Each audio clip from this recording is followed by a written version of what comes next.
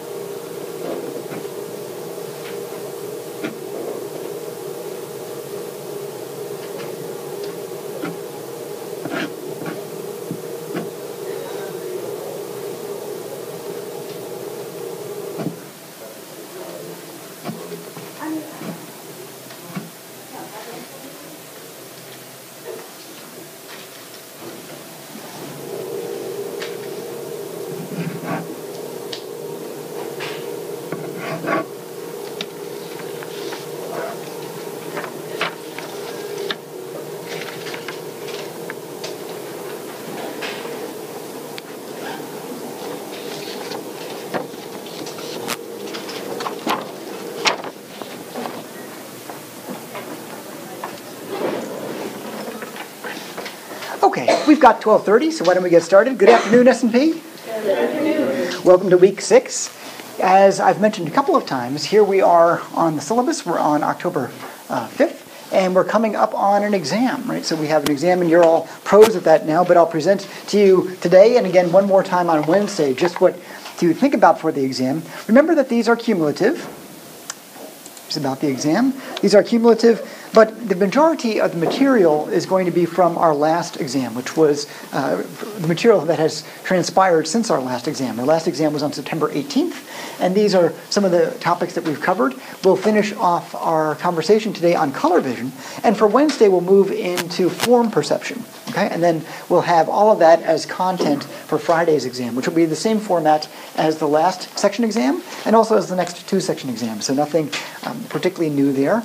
Remember that TED Ed is our friend for helping us prepare for all of that because they necessarily summarize what's going on in the PowerPoints, which are the basis for the videos. Okay, and all of that is based on the reading. So I think TED Ed makes maybe the, the, the best consolidation of all that material, and there's a lot of material there. Okay, any questions on that? Okay, I wonder if we might do this. Usually I start out with a bit of review, and I would like to review uh, some of the concepts that we had on Friday. Also, um, I'm grateful to both of our Rachels over the last two Fridays. We had Rachel Fenton this most recent Friday, and then Rachel Reed the Friday before that. One was live, one was by Skype, but it was really nice to have them come and interact with us. And thank you all for your good questions. I think that they, they enjoyed interacting with you. Okay, so before we get into our conversation on color vision and what you were doing with TED Ed, I wonder if we might do a couple of demos. Some of you have seen demos like this before, maybe in other classes. I'm going to turn the lights down so we get really nice contrast here. But I think these make a couple of great points about color, and maybe they also make some nice points more generally about things like lateral inhibition, an important concept in all of neuroscience and, and psychology as well. Okay, so we'll do a couple of color illusions. Okay, I'll try not to lead the witness here. Here's something like a pincushion, and here's something like another pincushion. So we have two pincushions. You might be able to tell that there's a small black dot there, and there's a small black dot there. Can people see that? Small black dot, is that visible? I can't always tell how. Uh, I'm very familiar with these slides because I've been using this one for a few years now. Okay, so I'm going to try not to lead the witness. If I asked you to think about the small patch on which that dot is placed, could you tell me the color of that patch? How would you describe it? Yell it out. Green, okay. We're pretty comfortable that's the green. and how about that one? What the color of that patch? Orange, okay. And as you might imagine, those two are physically identical. Right, so they look uh, perceptually quite different. This is a greenish color, that's an orangish color? Right, but if we take advantage of the miracle of PowerPoint and we now superimpose an index card over this that has a hole cut out right here and a hole cut out right here so that we don't get any of the contextual cues, we just get that one stimulus, we get this kind of a thing. Okay? So there that is, and there that is. Now, how do they both look? What color would you describe this one as? Maybe brown, okay. Do they look similar to you? Okay. And then we'll take that away. Okay. I find that really quite striking, that this is what's hitting your retina in both cases. This is the distal stimulus, and as close as the photographers and artists could make those two in their reproductions of that particular patch, this is actually the same stimulus in the two cases, but looking really quite perceptually different. Okay? So pretty cool, and I think a pretty salient demonstration of this simultaneous color contrast. We call it simultaneous color contrast because what's going on here is at a given moment in time, these surrounding colors are influencing that color. Okay? These surrounding colors are influencing that. It's all happening at, at one time. You take that away. Oops. You take that away, and we get um, the, the idea that these are physically identical. So I find that to be a, a pretty salient perceptual effect. How many people got that? Yeah, okay. Uh, I like that a lot because it's so salient. Uh, there's another one that I like better, and that's the one that's coming up here. This is probably my, my second or third favorite demo of, of the semester, and students typically like this one a whole lot. So let's, let's tell you how we're going to do this. I don't think I've, I've done this with anybody in the room before, but you may have seen me do this uh, once before. So what I'm going to ask you to do in just a moment is a simple adaptation where I'm going to ask you to look at that central fixation cross, maybe for uh, 30 seconds or so.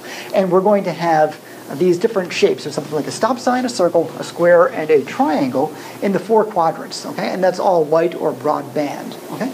Then what we're going to do is, uh, in, in, a moment, we'll have you um, adapt to those shapes, but those shapes are going to become colored. Okay, I'm going I'm going to turn that stop sign a particular color and the circle a particular color. We'll have you adapt for a while, and then we're going to bring this back, and then we're going to move the fixation cross right here. It's in the center. At some point after that, it will go all the way up, then back to the center, then all the way down and back to the center. Okay. So what I'd like you to do for maybe the next 30 seconds is simply adapt to this. Okay? So those are the colors. Please keep your eye on the central cross, and I'll mentally keep track of about 30 seconds. Actually, I'll use my watch for that. You can blink as you like, but try not to move your eyes fixation off of that cross.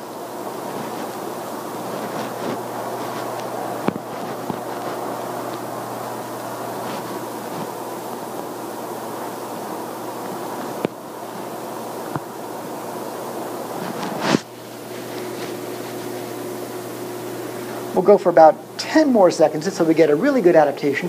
And when I bring this, um, I'll, bring back the white stimuli as you're fixating that cross. Please continue to do so. Okay? And then I'll ask you to move your eyes up and back to the center, down and back to the center. Okay? So keeping your eyes on that cross. Okay? Here come the pure white stimuli. Okay? Let's all go up, way up top. Are the whites back? Okay, now here are the pastels back. Okay, let's go down to the bottom. The whites are there Let's go back to the middle. Are the pastels there? Okay.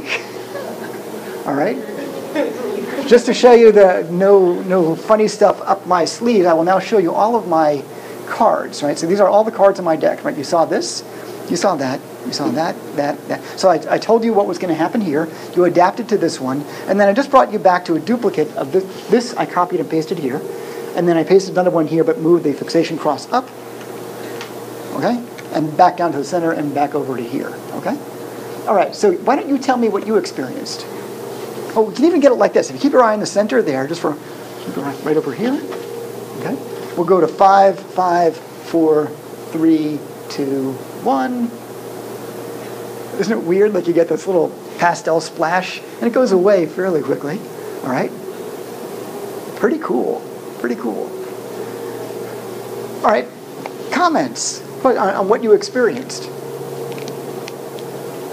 And we want to describe it? Okay, thanks. I think while we were staring at her and we were getting, adapting to the colors, uh-huh. the line vision kind of blurred a little on the sides, like, like the purple and the orange was around. While you were adapting? Yeah. Oh, okay. Okay, I wasn't aware of that, but okay, that's fine. Okay. All right. So does anybody remember from the color opponent ganglion cells or the color opponent LGN cells, how they were paired. There were a couple of color opponent pairs. Yeah, how did that go? Uh, red, green, and blue, yellow. Okay, red, green was one pair, and blue, yellow was another pair. And blue, yellow, interestingly, is the phylogenetically older, the genetically older system. Red, green is a little bit more recent. Some of our friends like Sam and Dalton, those were the monkey friends, the squirrel monkeys that we saw um, the beginning of Friday's session when we were taking a look at Jay and Neitz's lab uh, by video. They were trying to get that one monkey to become trichromatic. You're trichromatic, or at least most of you probably are trichromatic. And so we have a red-green axis, we have a blue-yellow axis. Now, what's a little bit strange about that is we call them blue-yellow, red-green. I will show you that maybe you won't agree with exactly those labels. So um, if we have you focusing here, okay, and we have you basically adapting to this, I'll call it a yellow stimulus, even though that's the vulgar for that, right? That stimulus is actually about 590 nanometers, which you experience psychologically as yellow. Its opposite, according to what Melanie just called out, its opposite would be not yellow, but yellow is paired with blue, okay? So hopefully you'll see something roughly bluish there. Conversely, you'll see something roughly yellowish here. But I'll just give you a warning. You might not agree that that's a really good yellow or a really good blue, okay? So keep your eye on the center there? And that stop sign, which for the moment is yellow, you probably won't call the after effect blue. Here we go. But you might have seen it has a, like a, a bluish tinge to it, okay? Of course, these things are all watered down because they're, they're pastels and they have broadband light. Conversely, that blue square should be turning a little bit on the yellow slot side. Yeah, you're getting something like that? Okay?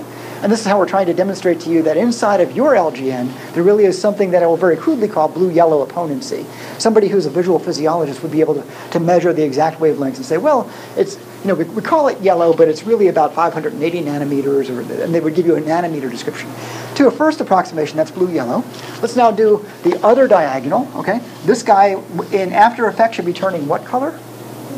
And this one in After Effects should be turning what color? Okay, so we'll see. And they're not going to be really good greens and reds, but they'll be pastel equivalents of those. So if you'll adapt just for a moment at that center, and while you're adapting, we'll ask you to draw your attention to the upper left circle, which is for the moment red. You might get a slight greenish tinge there. We'll do that again. Okay? And then maybe that lime green, which isn't, you know, it's not a really good Kelly green, but it's a lime green, will give you something maybe toward the pinker end the spectrum. Is that working for you? Okay. I'm when I started out teaching this course, I would say, you know, red, red, green, blue, yellow, and somebody say, oh, that's not, you know, that's not giving me a red, it's giving me a pink. But you get the idea. We're, we're flushing the whole thing out with, um, with these broadband colors. It's going to make everything pastel. Okay. Oh, yes, please. When you're looking at it, what does it mean if like some, the whole shape like just disappears? Ah, okay, yeah. There's um, the really interesting um, demos that we might get to later on, where uh, your, your retina has something called a nystagmus. It actually shakes deliberately all the time so that you can keep an image alive on it. But if the if you if you station if you stabilize your eye for a while, the image will fade. And the thinking about that is that your retina probably needs to be spending most of its time, if you will, on what is new out there. If something is uh, has been on your retina for three or four seconds and it hasn't killed you yet, okay, uh, then maybe it's not so evolutionarily important. Is, is one of the and, and we don't typically stare so uh, firmly at any one item for 30 seconds in a row out in the wild, but you do inside of a psychophysical lab. Okay. Then there was this other thing, right? I put up the white slides, and then all I did was I leave the, the white stimuli there, but I moved the fixation cross. It went up, then it went back down to the center, then it went down, and then it went back to the center. Okay? And when it was in the center, you experienced the pastels again, but it was in a different location. You didn't experience the pastels. Can somebody help us out with what's cooking there? And why would that be the case?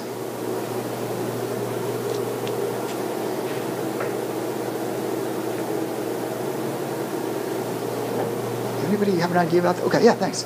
So I think it would be something like because the habituation is a specific location, and uh, you see like the like the ozone color.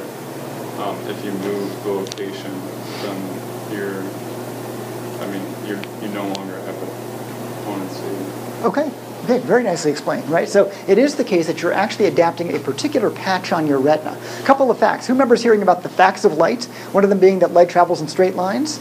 Okay, so because light is traveling in straight lines and you've got a fixed fixation for some extended period of time, Zach is correct that what you're really doing is you're driving a particular patch on the retina. So this is now going to actually transmit to my uh, the left side of, of each of my eyes, right? That, that stop sign that's yellow in color is going to land on the left side of my eyes, and it's going to be positioned there for some extended period of time. And we're going to get some fatigue, as Meg was beginning to describe, in the cells that are responding to that. And also, not only responding to that region of space, but also picking up that long, long wavelength. Okay? So they're going to begin to fatigue. Now that's happening at a very particular patch on the retina. I'll use my hand here, just like this. Maybe it's hitting hitting me right right like that. Okay. Then when I move the fixation cross up or down, you're going to move your eye up or down, but light is still traveling in straight lines. So instead of hitting me right there, I move my, my hand up like that, my eye up like that, if you will, and I hit that way. When I move my eye down, I can hit the tip of my finger, but when I'm back here, I'm back to the adapted location. Who's following that? Okay? So the idea is we're hitting fresh neural tissue when we change our eye movement, and we're going back to the adapted fatigue neural tissue when we go back to the fatiguing bit. So this follows retinal coordinates very tightly. And remember that a particular patch on your retina is driving a very specific bunch of cells inside of the LGN, and that in turn is driving a very specific bunch of cells back here in your primary visual cortex. We call this a retinotopic organization. Right? A particular group of cells in the LGN survey a particular bunch of photoreceptors on, on the retina. Just like you, we have 435 or whatever that number is of, uh, of representatives. One of them is dedicated to Licking County. Right? A different senator or a different representative is dedicated to a different county, right? Or a, a different district anyway. It's kind of like your LGN cells are surveying a particular district filled with photoreceptors. All the way back here, a particular set of V1 brain cells will be surveying a particular district in the LGN, just as LGN is surveying the retina. Okay? So we get this retinotopic adaptation that we can see just by saying, okay, move your eyes up, move them down, uh, move them all the way down, and move them back to the center. And you can see that you've really adapted a very specific subset of your neurons. Who's following that? Does that work? I think it's really cool. I think it's very elegant also. Okay. Any questions or comments on, on any of that? just to maybe draw something that will help us. I'm going to turn the lights back on, so beware. Some people are sensitive to the increase in light. Sorry about all that. Very crudely, we can say something like this. On this axis, we'll have the sensitivity of different neurons that are tuned to various wavelengths. And we'll say that we get something like this, something like this, and here is our lambda, and here's the very long wavelengths. Here are the shorter wavelengths, something like 400 to, to 700, right? I'm going to call this area very crudely green, and this area very crudely red. Okay? Early on, I might show you a stimulus that is, you know, right here. And so we have, at that particular wavelength, we have equal sensitivity from this mechanism, which is maximally sensitive to what I will crudely call green light, and we're getting a similar level of response from this second mechanism, which is maximally sensitive to a longer wavelength that I'll, that I'll call red. Who's following that so far? Okay? Then I have you stare at that thing for 30 seconds in a row, and maybe it's the case that there's something, you know, um, long wave-ish over in that side, so it's going to hit my, my retina over here, and we're going to begin to reduce the sensitivity of this long wave mechanism, bringing it way down here. It doesn't go all the way down to zero, but it goes down most of the way. So this guy's come down from here to here. Its sensitivity has been reduced because we've had prolonged exposure and those cells fatigue. Who's following that much so far? That work? Okay. Then I bring back the stimulus, and you might now notice that at the same stimulus point, I'm still intercepting the green guy right over here, this mechanism that's maximally tuned to that. But at the same time now, after adaptation, I'm getting a much lower level of, if you will, red firing. People seeing that? So at time two, the green mechanism's response is greatly exceeding the red mechanism's response, but that's only true after adaptation. When I started out this ball game and, and presented this just at the very first instant, those two mechanisms were equally sensitive. So what happens then is you get something like a green after effect, right? Because after you've been adapting, this mechanism is firing more saliently than is that mechanism. So it's suggesting to you that you've got something out there that might be more green than red even though it's actually positioned here physically okay, at a neutral point between those two. Yes, please. So that straight line's the criterion?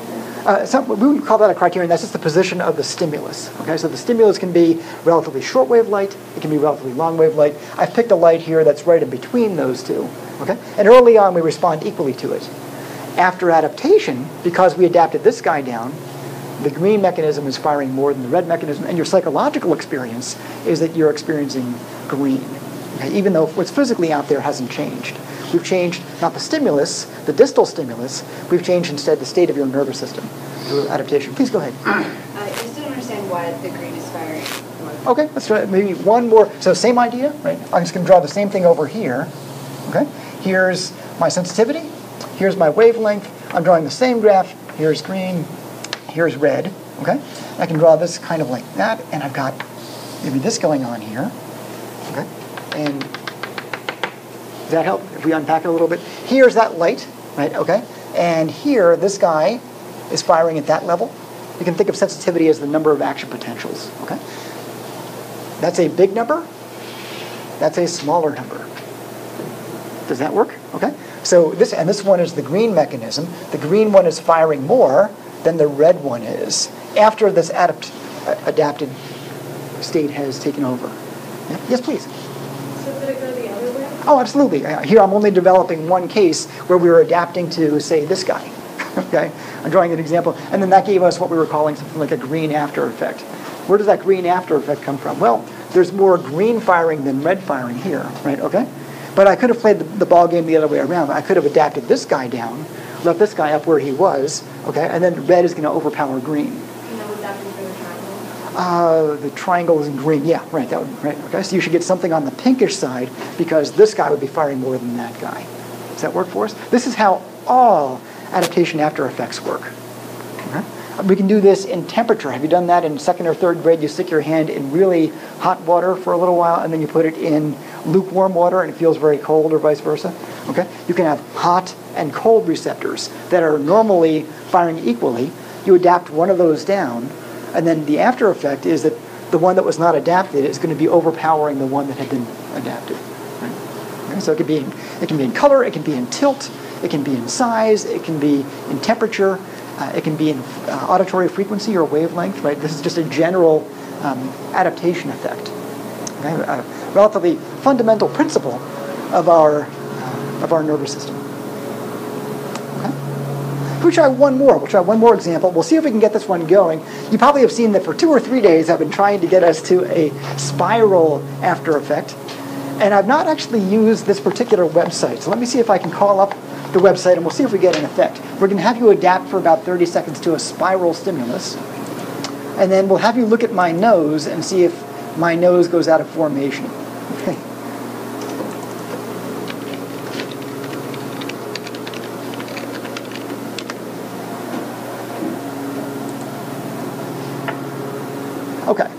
So let's see if I can center that reasonably well. Is that that's a pretty good size stimulus, right? Okay. Can you keep your eye right about here? I'll go for 30 seconds.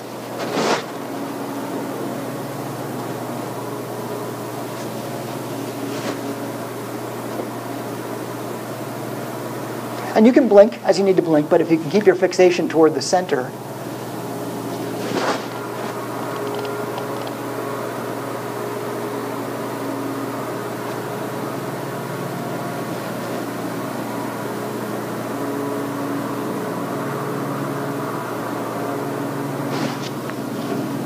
do about five more seconds, keeping your eyes there.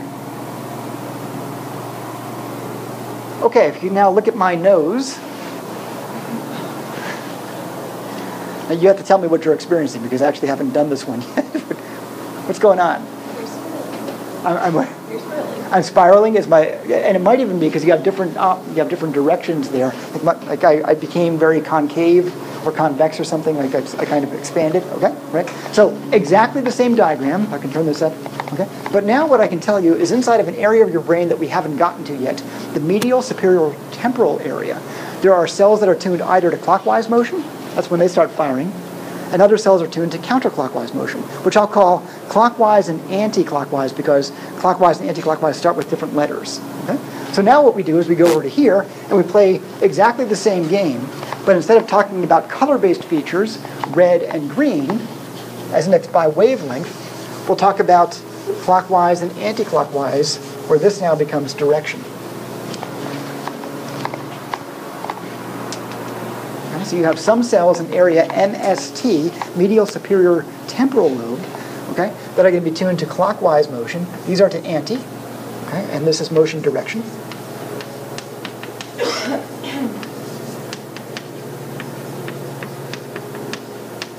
Same thing over here, right, clockwise and anti.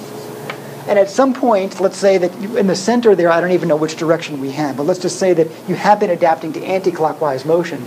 Relatively speaking, those cells will become fatigued for a given retinal location, everything is retinotopic. Right? We, we, we preserve retinotopy all the way through to the cortex, and even a few synapses past the visual cortex to area MST, those cells become fatigued, and you'll get something like a counterclockwise expansion. People okay with that? Is that working for us? Okay. So the general principle uh, of uh, lateral inhibition is working throughout our nervous system all the time and really all of our senses. Okay. Real good. Any questions on, on any of that? Okay, why don't we go back in to where we left off before Rachel came in. This is our second Rachel. Rachel Fenton came in to join us. And we were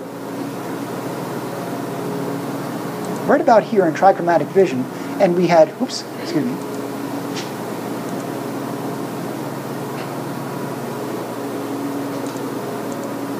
Should have opened up 10.2. That's the one that I wanted. Not 10.7. Okay. We had done Dalton.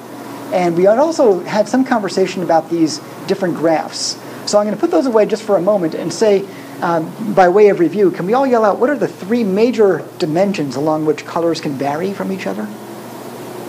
Hue, saturation, and, and brightness. Okay, so we have a lot of these graphs, and we might ask you to draw these graphs on, a, on an exam. And on the y-axis, we have something like the number of photons, and on this axis, we might have something like wavelength that goes from 400 to 700 nanometers. And we, we abbreviate wavelength with lambda. So, so we've got that going on. Can you draw in the air how red is different from blue? So I'll give you the axes in the air. Right here is the number of photons. Here's the wavelength. Can you draw in the air where where red is and where blue is? Okay, like the way. Yeah, okay. There, there you go. Claudio's got it. Okay, yeah. And which was which? So red and blue. Red and blue. Okay, did it with two fingers. That works. Okay, or you could have gone like this, something. Okay, so that's how red differs from blue. Hues are distinguished primarily by their their location on that axis. Okay, And that's probably the easiest one to think about. Okay, hue. Um, let's go to saturation. And the example that we typically give here is how do we distinguish red from pink? Okay, using saturation. So can we have the same imaginary imaginary air-drawn axes? Here's the number of photons. Here's the wavelength. Okay, can you show me somehow by drawing in the air how you go from red to pink? Claire's got it. Okay, all right. Abby's got it. What are you doing there, Abby? Oh, broadband. Okay, thank you for using that phrase. I am not sure I'd used it today, but um, I'm, I'm, really glad that we did because we do want to talk about having narrower bands or broader bands, a, a narrower range of frequencies or a broader range of frequencies or wavelengths. Okay, uh, and so we are going to get something that's a little bit whiter, uh, and to get that we have to have a, a broader range of of wavelengths or broader range equivalently of frequencies. Okay? So we did hue as two different locations, and we can put this kind of a thing over to show red versus pink. That's hue, saturation, and brightness is our last one. Okay? Does anybody remember the two colors that we contrasted with each other there? Red and maroon, okay? And can we draw that in the air? Here's your number of photons. Here's your wavelength. Okay, look at Alexa's got it. Okay? She's, she's doing something like that, or yeah, something okay? Right, so here's the, the brighter one, here's the dimmer one, okay? So we're at the same location, same width, but now it's the height of this, where brightness is actually defined as the perceptual correlate of intensity. And intensity is the number of photons. Okay? Brightness is the perceptual correlate of, of intensity, and uh, so we have fewer photons, it's less bright, and as we begin to dial that down, we get a, um, a darker red, and at some point we start calling it maroon. It's fun to think about how on a given very simple graph, we can begin to describe these three different dimensions. Okay? All right, that works really, really well. Let's talk a little bit more about that, that PowerPoint. That was the one from 10.2. And so we've made it all the way through here. I always like to ask my students about this one. I, this, I think, is pretty cool. So here's what we've got, the relative energy, right? You can think of this again as like the number of photons.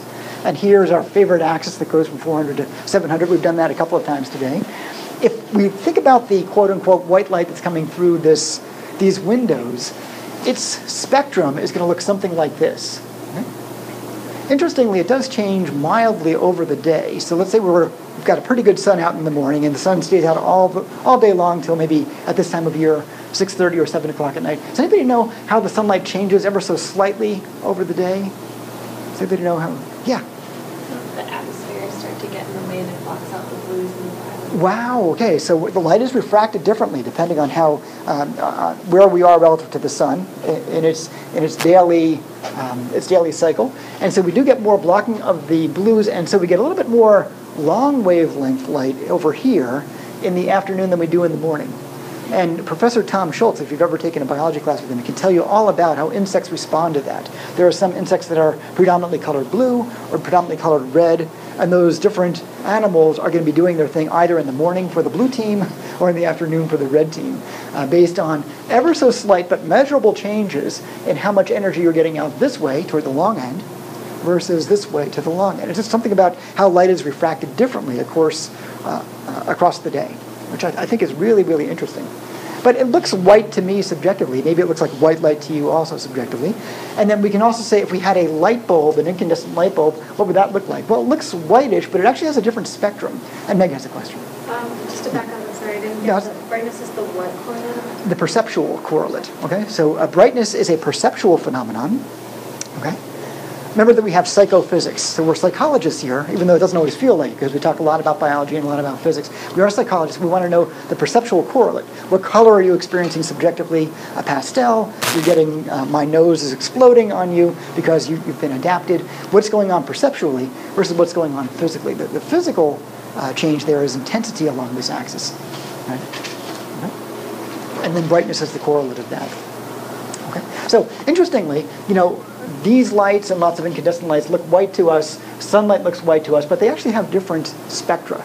So here's the question I ask about, because we have you know 17 or so students in this room, and you might we might have some roommates here, but we probably uh, don't have that many roommates here. Some of you will have a roommate or a friend who has these specialized lights that you can buy that are attempts to capture the, the, the sun spectrum. Has anybody seen those lights?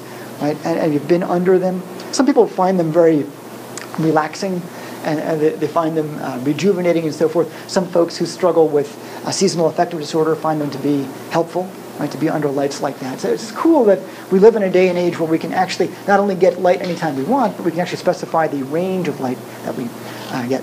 I'll try not to take too much of a digression because we're already a little bit behind. But this day before yesterday, I was all day at a conference in, at OSU on neuroscience, and they were talking about the harms that are happening to you and me as we are exposed, you know, after dark hours to a lot of blue light, especially. So light that's down here at this end.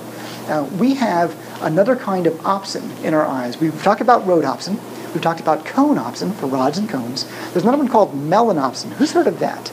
Maybe you've heard of mel- We haven't talked about melanopsin.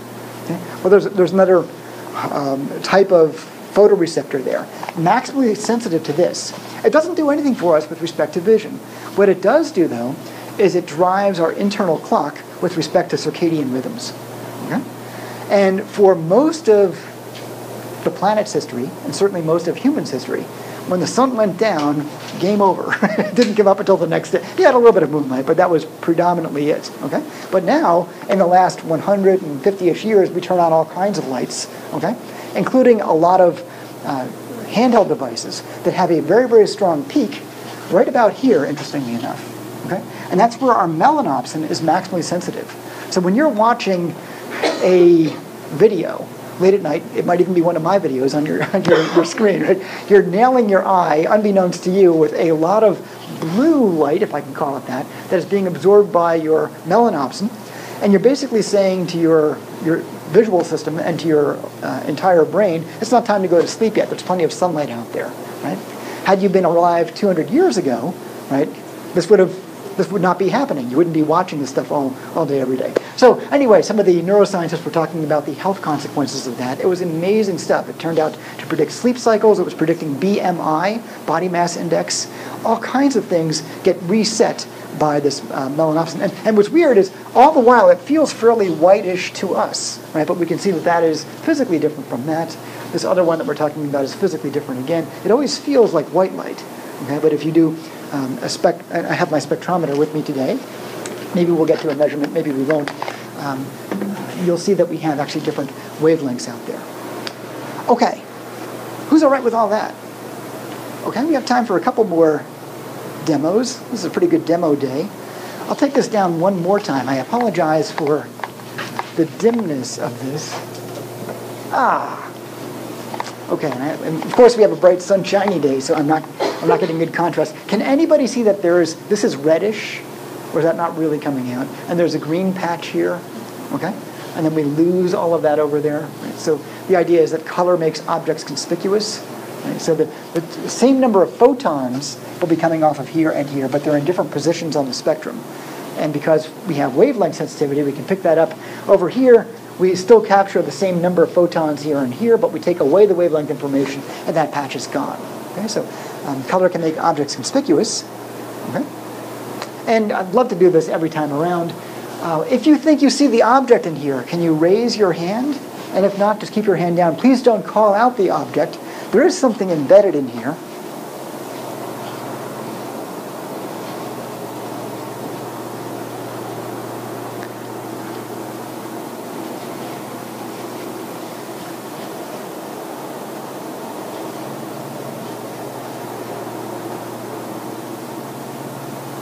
Are not getting that? You don't, you don't see any particular, okay? How people think they've got something?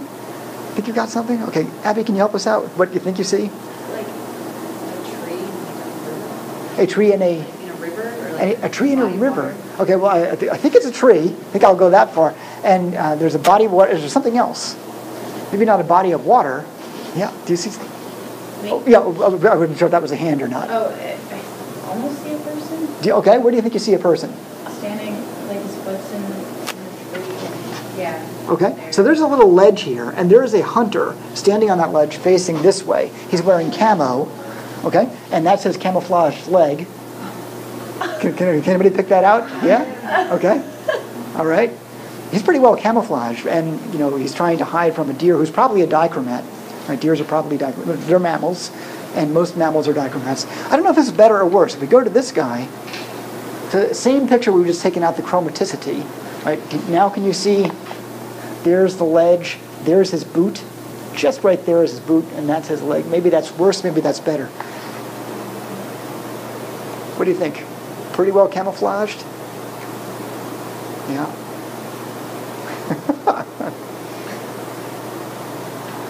okay, so colors can make objects conspicuous.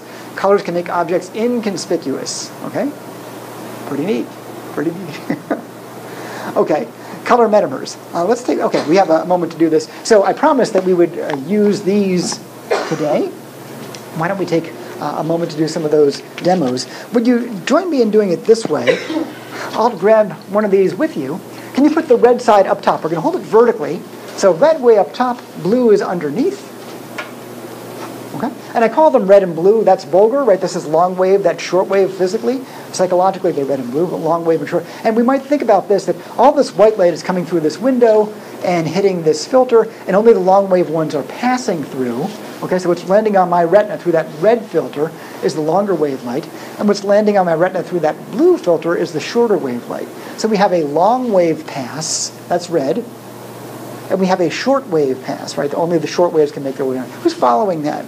That okay? It's, it's fun to talk about in a filter which ones are passing. Other filters that we've had, sometimes they would allow this orientation, this plane of polarization to pass, but not that one.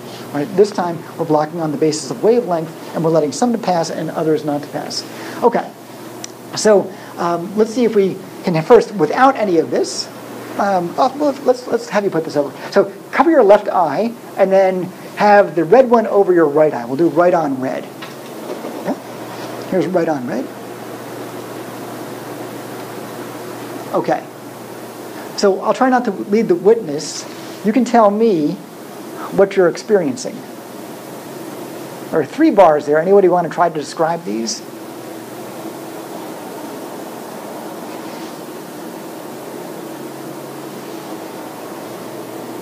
Okay, thanks, Abby. Uh, the one that, uh, is like greenish, the little one's kind of like orange color. Okay. The last one is red. Okay. Which uh, of these three, let's, let's call them A, B, and C, through your red filter, which two are most similar to each other? B and C? Okay. Now, why don't you just uh, squeeze it on up and have, look through the blue filter? So we're still on B and C, most similar to each other? No? Okay, let's go back to the other one, just make sure we didn't get that wrong. Okay, so which are, uh, using the red filter, Are we agreed it's B and C are most similar? And then let's go back to the blue filter. Which ones are most similar now? A and B, okay, all right, we can open our eyes and check it all out, okay? So that's what's on the screen the whole time, right? What's cool about this is these give us some insight as to what's really out there, okay? So what's, what I think is really neat is, as I think I mentioned on the video, we actually do have, coming out of that projector, three guns, right? One is a red gun, to use the vulgar, one is a green gun, and one is a blue gun, right? Where's the yellow gun? There is no yellow gun. There's R, G, and B, red, green, and blue. Who's okay with that? What color would you call this? Yeah, is that uh, hopefully that's a pretty good yellow, right? Maybe not as good as the yellow that I had on my shirt, but that's about it, the best yellow that I can make. So we can ask, where does that yellow come from? Okay, and we can use our filters to begin telling us that. If we hold this long wave filter over here, we could say, well, we're getting something quite similar in the center as we have on the far right. When we allow only long waves to pass, we can see that the B and C stimuli look very similar to each other. And as far as I could make them, they were identical. They might not really be identical because that projector isn't perfect, but uh, they're as identical as I can make them. Okay? And then if we go to the other filter, we can see that, aha, inside of that yellow, we also have a green component. Okay? So what's here is here, and what's here is here, but we can filter them out by using this. Okay? So weirdly, and I think many students find very counterintuitively, this yellow is actually red and green. And it doesn't work like that with paint. Right? If I take red paint and yellow paint and I put them, uh, sorry, red paint and green paint and I put them together, I really don't get a yellow. And I get something, something very different than that. But if I take lights and I put red and green together, I get this yellow. So there's, there's nothing out there that is a 590 nanometer stimulus like the, the yellow shirt that I was wearing the other day. But we're fooling your system into thinking that it's getting a yellow. Okay? And this is the idea of metamers. So let's see if we can get to that description. When I was wearing my bright yellow shirt the other day, if you could take this photometer and measure the wavelength, it would be at 590. Okay? Then if you take a picture of me on my, wearing my yellow shirt and you project it through that, remember that that has a red, green, and blue gun. It doesn't have a yellow gun. It doesn't have 590 nanometers. So how come it looks yellow? Right? How come Big Bird on Sesame Street looks yellow if your TV set has only R, G, and B? And the answer is that we fool your system into seeing yellow by stimulating you with green light and red light visible through these respectively. Okay? Pretty cool. So these are physically different from this, yet they're perceptually indistinguishable. They're said to be metamers. Who remembers that little ditty from the, the video? Okay. Pretty cool. Pretty cool. Okay, why don't we end that there? I did want to do one more thing before um, before our session on Wednesday. And as I wanted to give you the last eight or seven minutes here, I'm going to turn the lights back up again. So bear with me. You might close your eyes and then ooze them open if that, if that helps you. I wanted to get some feedback on TED Ed. I want to see how people are enjoying that or not enjoying that. So I'm going to ask you to think about not a particular TED Ed question and not a particular TED Ed lesson, but we've had about five weeks of TED Eds. Okay? And I'm going to ask you to respond without putting your name on top, without putting your Slayter box on top, uh, to fill in the following. The first question is what I like about how we're using TED Ed in this class is that, and then you can tell me what's, what's working for TED Ed and you. Second question, our use of TED Ed in this class could be improved if blank, blank, blank, and you can fill that in. And then the third one is anything else you want to tell me about how we're using TED Ed here. Um, you are the first S&P class to be using TED Ed, and I, before we get to the second two-thirds of the semester, we're about a third of the way through, I thought I'd get some feedback from you. So if you please take one and pass it. I have a few folks, as I've mentioned before, who are in my stats class where we're also using TED Ed. For that handful of students, if you would please You'll take one and pass. Sorry, I've got only one there. If you would please restrict your answer to how we're using it in this class. I've got more coming around. Thanks. I've got extras. Does everybody have one? Thank you. Thank you for the extras, Gabby. Okay, so please, no names, no Slayter boxes. I appreciate your honesty, what's working, what isn't working. When you're done, face down, you can place those face down here, and we're finished for the day. And just a reminder that for Wednesday we have our final TED Ed before the before the exam.